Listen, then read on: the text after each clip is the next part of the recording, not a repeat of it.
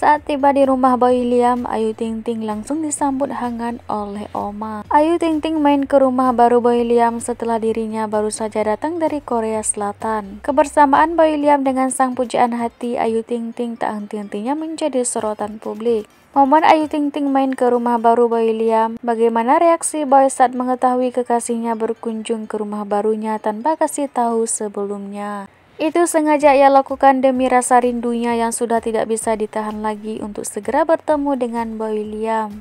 Selanjutnya yuk simak kembali berita terbaru yang kedua. Ayu Ting Ting tengah berlibur ke Korea Selatan bersama keluarganya. Saat pamer pemotretan memakai hanbok atau pakaian tradisional negeri ginseng, biduan itu diajak bertemu artis Korea yakni Shin Min Chul The Mac. Halo sahabat isu, jangan lupa di like, komen, subscribe channel ini, nonton sampai habis agar kalian tidak salah paham.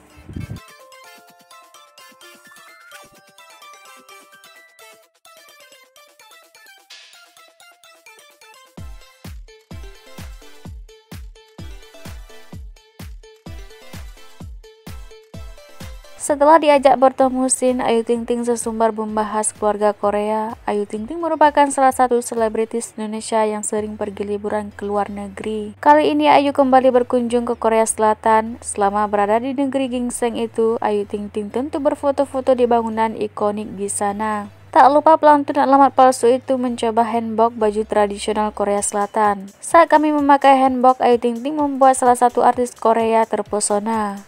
Bahkan artis Korea tersebut mengajaknya untuk bertemu. Ternyata artis Korea tersebut adalah Shin Min Chul yang punya lagu Paradise di drama Boys Over Flowers. Sekaligus anggota grup D-Mac, sangat cocok untuk mulai kali kamu datang ke Korea. Mari kita makan bersama Semoga perjalanan Anda menyenangkan, komentar Sin. Kedekatan Bayi Liam dan Ayu Ting Ting sudah menjadi sorotan publik. Ayu merupakan penyanyi dangdut yang dikenal lewat lagunya Alamat Palsu. Presenter Bayi Liam dikabarkan dekat dan punya hubungan khusus dengan pedangdut Ayu Ting Ting. Bayi Liam dan Ayu Ting Ting sering terlihat bersama, Keduanya suka membuat konten bareng sehingga membuat publik menduga mereka berpacaran. Boy Liam akhirnya buka suara atas kabar berpacarannya dengan Ayu Ting Ting. Ia hanya memastikan statusnya dengan janda anak satu itu. Kami teman dekat, very close friend, kata Boy Liam ketika ditemui di kawasan Cipete, Jakarta Selatan.